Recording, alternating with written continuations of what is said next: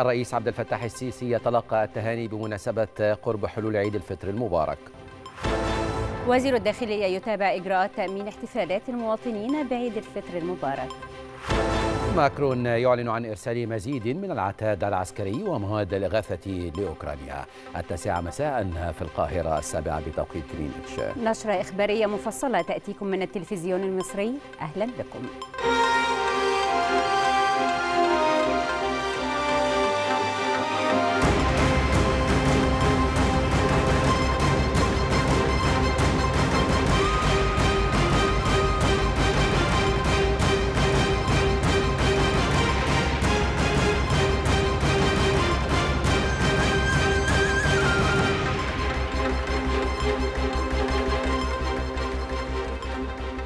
كل عام وحضراتكم بخير. أجرى الرئيس عبد الفتاح السيسي اتصالا هاتفيا مع سمو الشيخ محمد بن زايد آل نهيان ولي عهد أبو ظبي نائب القائد الأعلى للقوات المسلحة بدولة الإمارات العربية المتحدة وذلك للتهنئة بمناسبة حلول عيد الفطر المبارك. وخلال الاتصال أعرب الرئيس السيسي عن تمنياته للإمارات الشقيقة والأمة العربية والإسلامية بكل تقدم واستقرار. من جهته أعرب سمو الشيخ محمد بن زايد عن الشكر والامتنان للرئيس السيسي على التهنئة الكريمة متمنيا له ولمصر كل الازدهار والرخاء.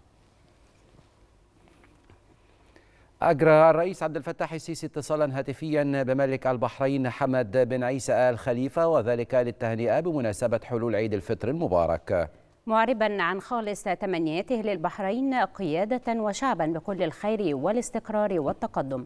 ومن جانبه أعرب ملك البحرين عن تهنئته للرئيس السيسي بهذه المناسبة. داعيا الله أن يعيدها على البلدين والأمتين العربية والإسلامية بكل خير وسلام. أعرب الرئيس عبد الفتاح السيسي عن خالص شكره وامتنانه لشقيقه جلالة السلطان هيثم بن طارق متمنيا للشعب العماني الشقيق كل الخير والتقدم والاستقرار بمناسبة حلول عيد الفطر المبارك. جاء ذلك خلال اتصال هاتفي تلقاه الرئيس السيسي من السلطان هيثم بن طارق آل سعيد سلطان عمان وأعلن المتحدث باسم رئاسة الجمهورية بأن السلطان العماني توجه بالتهنئة للرئيس السيسي بمناسبة حلول عيد الفطر متمنيا لمصر وشعبها دوام التقدم والازدهار. كما أجرى الرئيس عبد الفتاح السيسي اتصالا هاتفيا مع الرئيس العراقي برهم صالح وذلك للتهنئة بمناسبة حلول عيد الفطر المبارك. وأعرب الرئيس السيسي عن تمنياته للعراق والأمة العربية والإسلامية بالرخاء والأمن والاستقرار. من جانبه أعرب الرئيس العراقي عن التقدير والامتنان للرئيس السيسي وتمنياته بكل الخير والازدهار لمصر حكومة وشعبا. بعث المستشار الدكتور حنفي جبالي رئيس مجلس النواب برقية تهنئة إلى الرئيس عبد الفتاح السيسي بمناسبة حلول عيد الفطر المبارك وخلال التهنئة أكد رئيس مجلس النواب ثقة جماهير شعب مصر العظيم في الرئيس السيسي مشيدا بجهوده في. في الحفاظ على هيبة الدولة وتحقيق الوحدة الوطنية وخوض معارك التطوير والبناء مشيرا إلى أن السنوات القليلة الماضية حافلة بقفزات طويلة إلى الأمام مليئة بالإنجازات etti. كما بعث رئيس مجلس الشيوخ المستشار عبد الوهاب عبد الرازق برقية تهنئة للرئيس عبد الفتاح السيسي بمناسبة عيد الفطر المبارك. وخلال البرقية تقدم رئيس مجلس الشيوخ بالأصالة عن نفسه وبالإنابة عن أعضاء مجلس الشيوخ للرئيس السيسي بأسماء آيات الاحترام والتقدير وأخلص التهاني بمناسبة عيد الفطر داعيا الله عز وجل أن يعيده على الوطن الغالي وعلى الأمة الإسلامية والعربية بالخير واليمن والبركات. هنأ رئيس مجلس الوزراء مصطفى مدبولي الرئيس عبد الفتاح السيسي بمناسبة حلول عيد الفطر المبارك. وفي برقيته بهذه المناسبة قدم رئيس مجلس الوزراء بالأصالة عن نفسه وبالإنابة عن أعضاء الحكومة أسمى آيات التهاني للرئيس السيسي مجددا العهد على الاستمرار في بذل المزيد من الجهد والعطاء من أجل مواصلة مسيرة النهضة التنموية والتي تشهدها البلاد في كافة المجالات. كما بعث مدبولي برقية تهنئة لفضيلة الإمام الأكبر الدكتور الدكتور أحمد الطيب شيخ الأزهر الشريف بمناسبة حلول عيد الفطر المبارك. بعث الدكتور القس أندريا زكي رئيس الطائفة الإنجيلية بمصر برقية تهنئة للرئيس عبد الفتاح السيسي والشعب المصري بمناسبة حلول عيد الفطر المبارك. كما بعث رئيس الطائفة الإنجيلية برقيات تهنئة مماثلة لكل من مصطفى مدبولي رئيس مجلس الوزراء وفضيلة الإمام الأكبر الدكتور أحمد الطيب شيخ الأزهر الشريف والمستشار الدكتور حنفي جبالي رئيس مجلس النواب. والمستشار عبد الوهاب عبد الرازق رئيس مجلس الشيوخ. والمستشار حمد الصاوي النائب العام وكبار رجال الدولة والمسؤولين. تقدم فضيلة الإمام الأكبر الدكتور أحمد الطيب شيخ الأزهر الشريف بأطيب التهاني إلى الرئيس عبد الفتاح السيسي وإلى الشعب المصري والمسلمين حول العالم بمناسبة حلول عيد الفطر المبارك. وأكد الإمام الأكبر أن العيد فرصة طيبة للتراحم بين الناس ونشر قيم المحبة والتسامح والود وصلة الأرحام بينهم داعيا إلى اغتنام هذه المناسبة الطيبة لإدخال الفرح والسرور على غير القادرين والمستضعفين والمحتاجين. تلقى فضيلة الإمام الأكبر شيخ الأزهر الشريف الأستاذ الدكتور أحمد الطيب اتصالا هاتفيا من بابا الإسكندرية بطريرك الكرزة المرقسية قداسة البابا توادروس الثاني هنأه خلاله بمناسبة حلول عيد الفطر المبارك. وأعرب قداسة البابا توادروس عن خالص تهانيه لفضيلة الإمام الأكبر ولجميع المسلمين بهذه المناسبة وتمنياته القلبية بأن يعيد الله عز وجل هذه المناسبات على فضيلته وجميع المصريين بكل خير وسلام واستقرار. من جانبه أكد فضيلة الإمام الأكبر اعتزاز الأزهر بالعلاقة التي تربط المصريين مسلمين ومسيحيين والتي تنبع من الفهم الصحيح للدين. استطلعت دار الإفتاء المصرية برئاسة الدكتور شوقي علام مفتي الجمهورية هلال شهر شوال عام 1443 هجريا. وقد أوضحت دار الإفتاء أن يوم الأحد هو المتمم لشهر رمضان ويوم الاثنين هو أول أيام عيد الفطر المبارك. تعلن دار الإفتاء المصرية أن يوم الأحد الموافق الأول من شهر مايو لعام 2022 من الميلاد هو المتمم لشهر رمضان لعام 1443 من هجرة المصطفى صلى الله عليه وسلم. وأن يوم الاثنين الموافق الثاني من شهر مايو هو أول أيام شهر شوال لعام 1443 من الهجرة المصطفى صلى الله عليه وسلم. وبهذه المناسبة الكريمة نتقدم بخالص التهنئة لفخامة السيد الرئيس عبد الفتاح السيسي رئيس جمهورية مصر العربية ونتمنى لسيادته دوام الصحة والعافية والتوفيق. كما نتقدم بخالص التهنئة للشعب المصري الكريم ولجميع رؤساء الدول العربية والإسلامية وملوكها وأمرائها وللمسلمين كافة في كل مكان.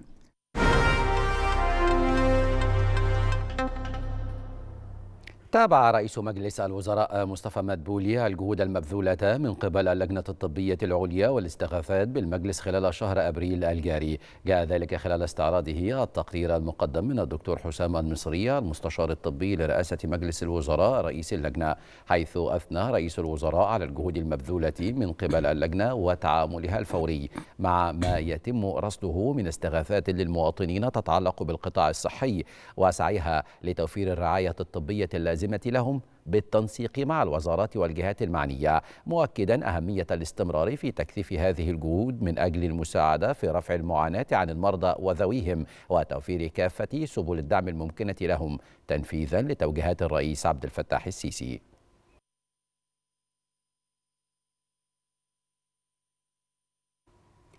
عقد وزير الداخلية محمود توفيق اجتماعا مع عدد من مساعدي الوزير والقيادات الأمنية بهدف استعراض ثوابت استراتيجية العمل الأمني خلال المرحلة الحالية وما تحقق من أهدافها في شأن حماية أمن المواطنين.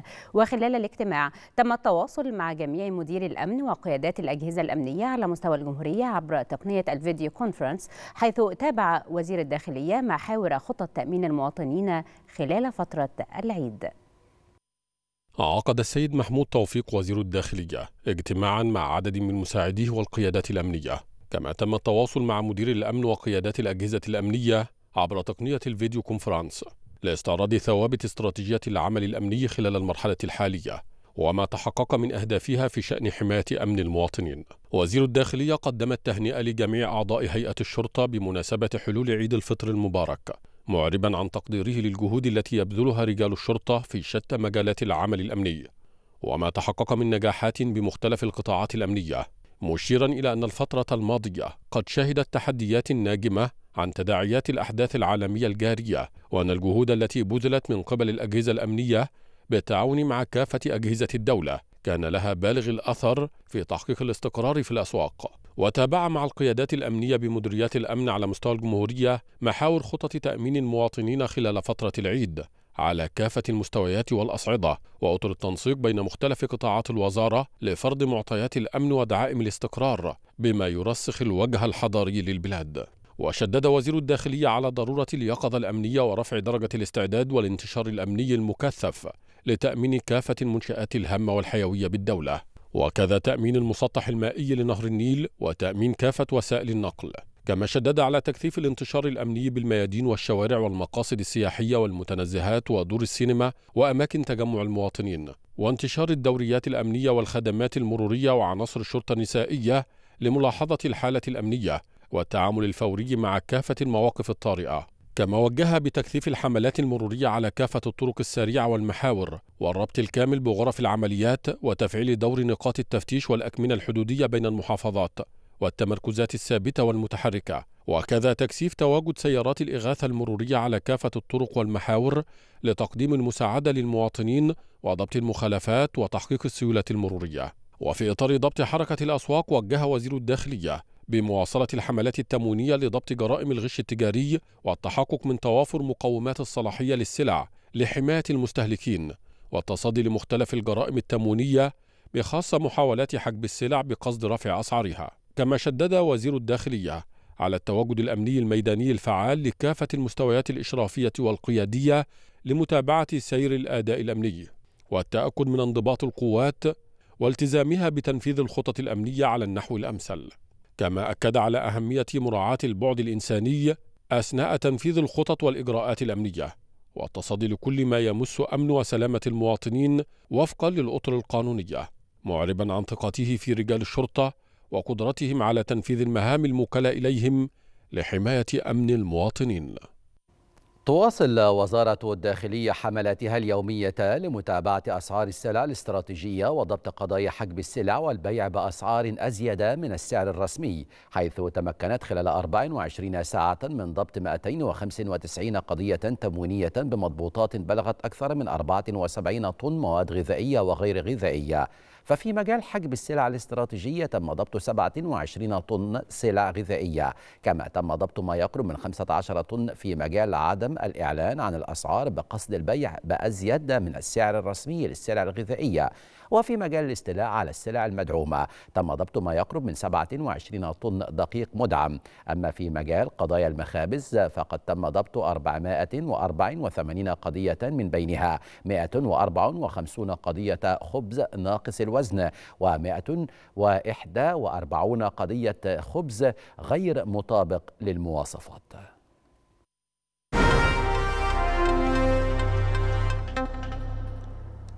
أدانت مصر التفجير الإرهابي الذي استهدف مسجدا بالعاصمة الأفغانية كابول وأسفر عن مقتل وإصابة العشرات من الأبرياء. وتقدمت مصر بخالص التعازي إلى أفغانستان وأسر ضحايا تلك العمليات الإرهابية الغاشمة وأعربت عن تمنياتها بسرعة الشفاء للمصابين. هذا وتؤكد مصر مجددا أهمية تضافر كافة الجهود من أجل مكافحة ظاهرة الإرهاب والعنف والتطرف بكافة أشكالها وصورها. أعلنت وسائل إعلام عراقية استهداف هجوم صاروخي لقاعدة عين الأسد في الأنبار دون خسائر بشرية. من جهة أخرى أكد المتحدث باسم القائد العام للقوات المسلحة في العراق يحيى رسول نجاح المرحلة الثانية من عملية الإرادة الصلبة في ملاحقة عناصر تنظيم داعش الإرهابي وتحقيق هدفها الأساسي المتمثل في القيادة والسيطرة. وقال يحيى رسول إن أهم ما تم خلال عملية الإرادة الصلبة هو قتل المسؤول الأمني والعسكري لتنظيم داعش الإرهابي شمالي بغداد وذلك في قضاء الطارمية حيث كان يخطط لإدخال عدة انتحاريين إلى مدينة بغداد خلال شهر رمضان الكريم.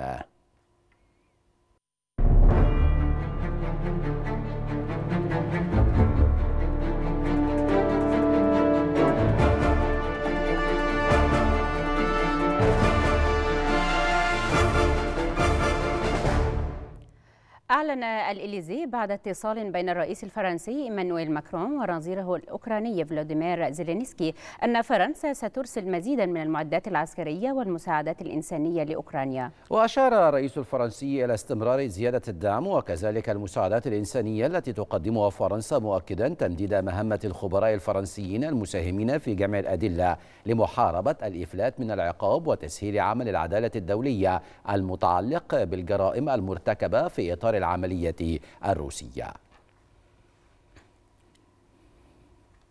أكد الرئيس الأوكراني فلودومير زيلينسكي أن بلاده ستنتهي قريبا من أزمة نقص الوقود حتى على الرغم من إلحاق القوات الروسية أضرارا بعدد من مستودعات النفط. كانت روسيا قد قصفت الأسبوع الماضي مصفاة نفط كيرمينتشوك التي تعد أكبر منتج للوقود في أوكرانيا بالإضافة إلى عدة مستودعات كبيرة أخرى. أكد وزير الخارجية الروسي سيرجي لافروف أن رفع العقوبات المفروضة على روسيا جزء من مفاوضات السلام بين موسكو وأوكرانيا والتي قال إنها صعبة لكنها مستمرة يوميا. ودعا لافروف حلف شمال الأطلنطي الناتو والولايات المتحدة إلى الكف عن مد كييف بالأسلحة إذا كانا مهتمين بحل الأزمة الأوكرانية. وأضاف لافروف أنه تم إجلاء أكثر من مليون شخص من أوكرانيا إلى روسيا منذ بداية العملية العسكرية في أوكرانيا. And these people have been explained yesterday.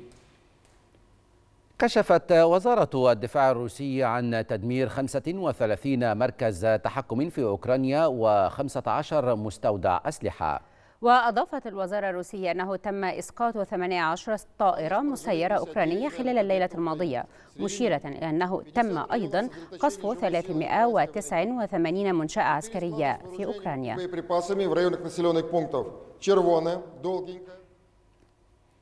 أكدت وزارة الخارجية الروسية أن الحوار بين موسكو وواشنطن حول الاستقرار الاستراتيجي تجمد رسميا. وأضافت الوزارة أن هذه الاتصالات يمكن استئنافها بمجرد اكتمال ما تسميه روسيا عملياتها العسكرية الخاصة في أوكرانيا.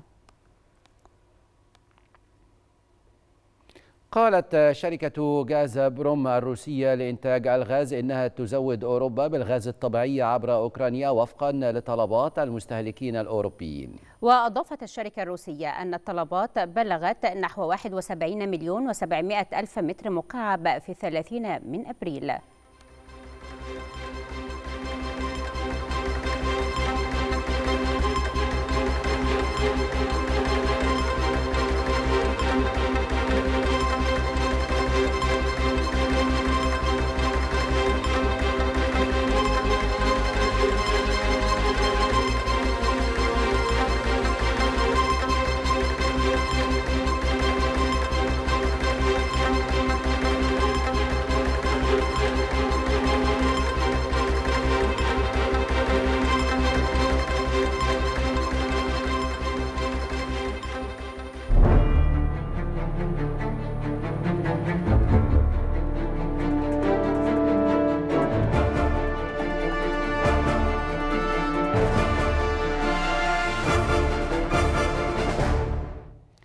قدمت مؤسسة حياة كريمة بخالص الأعزاء لأهالي قرية السوالم محافظة البحيرة إثر مصرع ثمانية أطفال في حادث غرق تروسيكل في المياه في طريقهم للعمل. وقامت مؤسسة حياة كريمة على الفور من خلال المنسقين الميدانيين بتقديم واجب العزاء وسبل الدعم والاطمئنان على المصابين وأسرهم.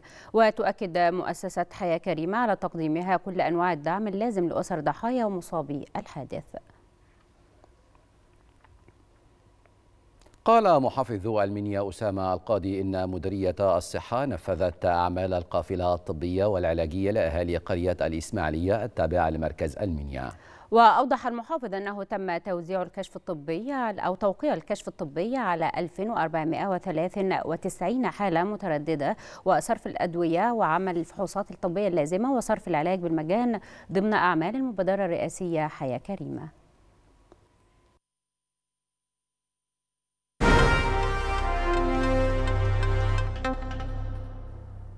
تعاملت منظومة الشكاوى الحكومية الموحدة بمجلس الوزراء مع ما تم رصده وتلقته من شكاوى للمواطنين تتعلق بالحصول على مستحقاتهم المالية أو إتمام بعض التسويات أو سداد بعض الالتزامات عبر الوسائط الحديثة التي تتيحها الجهات الحكومية للمواطنين ضمن جهود الدولة نحو التحول الرقمي. ونجحت المنظومة في اتخاذ ما يلزم من إجراءات بالتعاون والتنسيق مع الوزارات والجهات المختصة لإزالة أسباب تلك الشكاوى وذلك في إطار جهود الدولة بهدف تيسير مختلف الإجراءات الخاصة بتعامل المواطنين مع الجهات الحكومية المختلفة. وبما يحفظ حقوق المواطنين ويعزز مستويات الثقة بالاستفادة من التقدم الملموس في ميكنة الخدمات المقدمة لهم.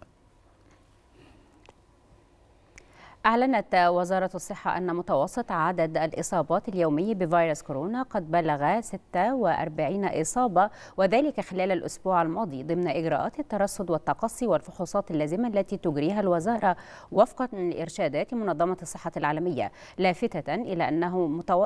أن متوسط الوفيات اليومي قد بلغ نحو خمس حالات. وأوضحت الوزارة أن متوسط عدد المتعافين اليومي من فيروس كورونا قد بلغ 62 متعافيا بعد تلقيهم الرعاية الرعاية الطبية اللازمة وتمام شفائهم وفقا لإرشادات منظمة الصحة العالمية. ليصل بذلك إجمالي عدد المتعافين من فيروس كورونا حتى الآن إلى 445139 متعافيا. أكدت وزيرة البيئة ياسمين فؤاد عمق العلاقات بين مصر والتشيك مرحبة بالتعاون بين الطرفين في مجال التغيرات المناخية والمجالات البيئية المختلفة. جاء ذلك خلال لقاء وزيرة البيئة بسفير جمهورية التشيك جاك فوليك لبحث التعاون بين الطرفين في مؤتمر الأطراف كوب 27 للتغيرات المناخية والذي تنظمها مصر في نوفمبر القادم بمدينة شرم الشيخ. وشددت الوزيرة على أنها تأمل في أن يكون المؤتمر للتنفيذ والبناء على مخرجات مؤتمر جلاسكو لتحقيق نتائج فاعلة على أرض الواقع في مجالي التخفيف والتكيف والحصول على التمويل اللازم للدول النامية لمواجهة الآثار السلبية للتغيرات المناخية. التقت وزيرة التعاون الدولي رانيا المشاط مع مستشار المبعوث الرئاسي الأمريكي الخاص للمناخ ديفيد ثورن لمناقشة تعزيز العلاقات الاقتصادية المشتركة وبحث الفرص الاستثمارية الواعدة في الاقتصاد المصري وخاصة في مجال الطاقة المتجددة. كما تم التباحث حول فرص التعاون المشتركة بين مصر والجانب الأمريكي للإعداد لبرنامج يزيد التعاون بين البلدين في مجال العمل المناخي كما يسهم في الجهود المبذولة في إطار استضافة مصر لقمة قمة المناخ كوب 27 وذلك في ضوء تكوين مجموعة عمل مشتركة خاصة بالمناخ مصرية أمريكية.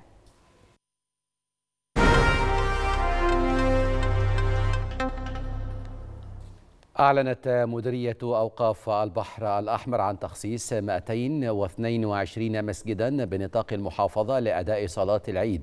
وأوضح وكيل وزارة الأوقاف بالبحر الأحمر محمود شيمي أن شرط إقامة صلاة العيد بالمساجد هو الالتزام بجميع الضوابط الإجرائية والاحترازية ومراعاة التباعد الاجتماعي مع حظر أداء صلاة العيد في الزوايا وتطبيق العقوبة على المخالفين. استعدينا الحمد لله بتجهيز هذه المساجد تنظيف صحن المساجد والملحقات التابعة لها من مصليات سيدات وغيره.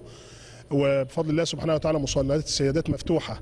ما دامت مفتوحة في صلاة المفتوح في صلاة القيام وفي صلاة الجمعة مفتوح بفضل الله سبحانه وتعالى في صلاة عيد الفطر المبارك.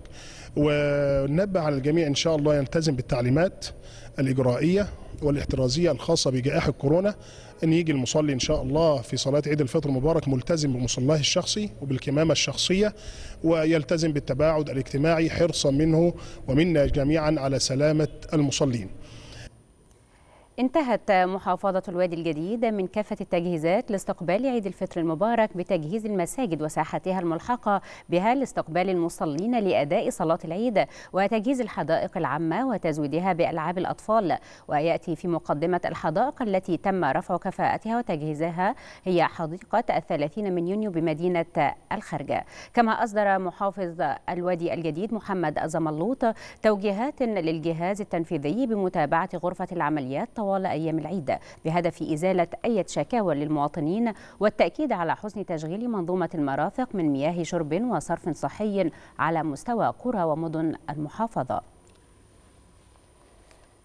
أكد محافظ الغربية طارق رحمي حرص الدولة على محاربة الغلاء وارتفاع الأسعار في إطار توجيهات الرئيس السيسي بضرورة تخفيف العبء عن المواطن وتوفير السلع الاستراتيجية المدعمة بأسعار أقل من السوق وذلك لضبط الأسعار. جاء ذلك خلال تفقد المحافظ لعدد 11 منفذ بيع متحرك. ستجوب مراكز ومدن المحافظة ضمن مبادرة وزارة الزراعة من خير مزارعنا لأهالينا لتوفير السلع الاستراتيجية والأساسية المدعمة بأسعار مخفضة.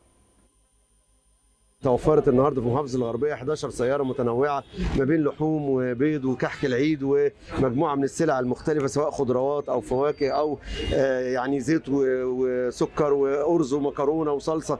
كل السلع اللي بيحتاجها البيت المصري متوفرة النهارده.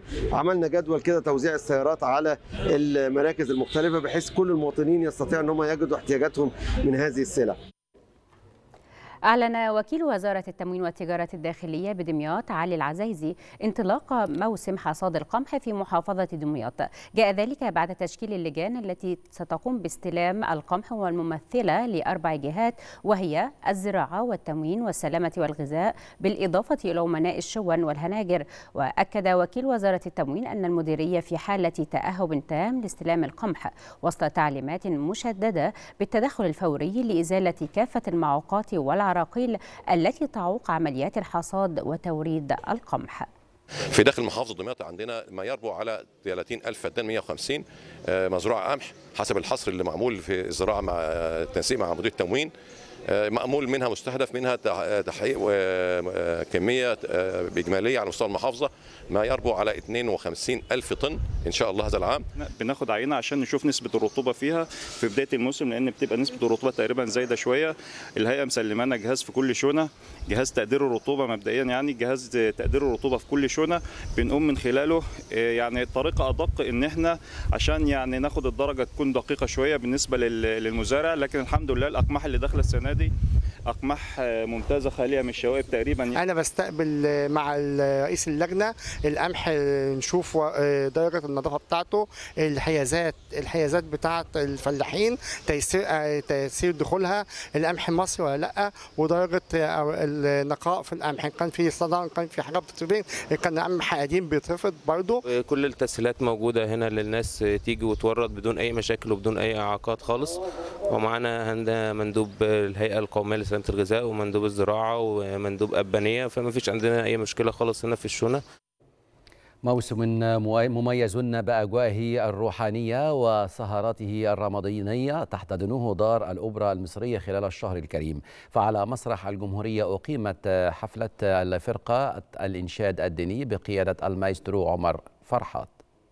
أجواء روحانية وليال رمضانية. احتضنتها دار الأوبرا المصرية. طوال شهر رمضان الكريم انتهت بأناشيد دينية أقيمت على مسرح الجمهورية بقيادة المايسترو عمر فرحات وعدد من فنانين الأوبرا. أول مشاركة ليا في شهر رمضان الكريم مع الفرقة بقيادة المايسترو عمر فرحات وتحفيز الفنان القدير الأستاذ أحمد عبد الله. من حظي الجميل إن أنا اولا في فرقة انشاد ديني في دار الأوبرا وحظي الأجمل إن أنا مشارك النهارده في احتفالية دار الأوبرا بليلة القدر. وفي شهر رمضان المعظم يعني اللي إحنا بنحب احتفالاته وروحه الجميلة اللي بنتقرب فيها لربنا سبحانه وتعالى واجتهادنا في العبادة يعني. تنوعت الأناشيد بين مدح للنبي محمد صلى الله عليه وسلم وأخرى دينية يسترجع بها الحضور ذكريات وكلمات وألحان للتراث الديني مثل حسبي يا ربي جل الله وماشي في نور الله وسلم لي على الهادي نبينا. حفلات جميلة والواحد بيحب الإنشاء الديني عامة يعني وبالذات في رمضان بتكون يعني جميلة جدا والتملي بنحضرها يعني. كل الأغاني اللي التواشيح الدينيه بحبها قوي أنا بحس بحاجات زمان التواشيح والحاجات الجميلة دي بتفكرك بأيام زمان. أناشيد وألحان طبعت في وجدان المصريين يستعيد ذكراها جمهور دار الأوبرا المصرية ضمن وجبة دينية ثقافية تغذي الروح وترتقي بالقلوب بكلمات تراثية وفنية. كريم بيبرس التلفزيون المصري. أجرى الرئيس عبد الفتاح السيسي اتصالا هاتفيا مع جلالة الملك عبد الله الثاني بن الحسين ملك المملكة الأردنية الهاشمية. وأعرب الرئيس السيسي عن خالص تهنئته بمناسبة حلول عيد الفطر المبارك متمنيا للشعب الأردني الشقيق كل الخير والتقدم والرخاء. وقد أعرب جلالة الملك الأردني عن خالص تقديره على هذه التهنئة الكريمة من أخيه الرئيس عبد الفتاح السيسي. داعيا الله العلي القدير أن يعيد هذه المناسبة على مصر قيادة وشعبا وعلى الأمتين العربية والإسلامية بالخير واليمن والبركات وأن يحفظ مصر من كل سوء. كما أجرى الرئيس عبد الفتاح السيسي اتصالا هاتفيا برئيس الوزراء العراقي مصطفى الكاظمي وتقدم الرئيس السيسي بالتهنئة بمناسبة عيد الفطر المبارك متمنيا للعراق وشعبه الشقيق كل الخير والازدهار. من جانبه عرب رئيس الوزراء العراقي عن خالص الامتنان لهذه اللفتة الأخوية متمنيا لمصر وشعبها دوام التقدم والرخاء.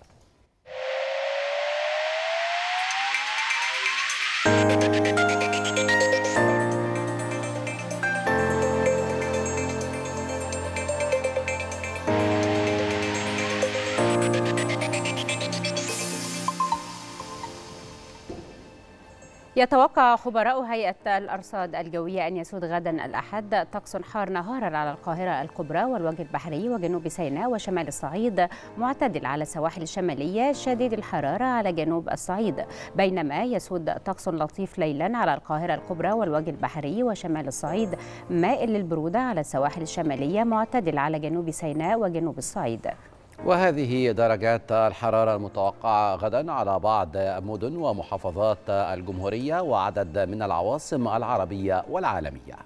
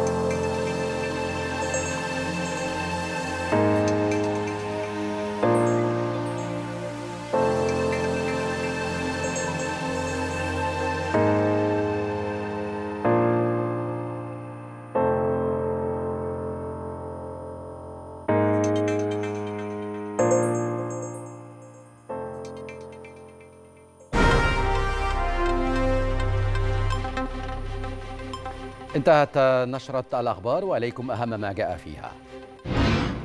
الرئيس عبد الفتاح السيسي يتلقى التهاني بمناسبة قرب حلول عيد الفطر المبارك. وزير الداخلية يتابع إجراءات تأمين احتفالات المواطنين بعيد الفطر المبارك. ماكرون يعلن عن إرسال مزيد من العتاد العسكري ومواد الإغاثة لأوكرانيا. انتهت نشرة الأخبار ولكن التاسعة ما زالت مستمرة. مع دينا عبد الكريم مساء الخير يا دينا وكل سنة وانت طيبة مساء النور ميرفت ومساء النور عليك يا ياسر. مبسوطة أكون معاكم النهاردة في آخر أيام شهر رمضان الكريم. كل سنة وانت طيبة وبالتوفيق. وأنتم بألف خير. بشكركم مرة تانية بشكر كل فريق نشرة التاسعة. آه كل سنة وأنتم طيبين. خلاص آه بكرة وقفة آخر يوم. الفطر المبارك وبننتظر أعياد. آه خلاص ما فاكرين إنه آخر سحور كلهم عم يفكروني بكرة آخر سحور.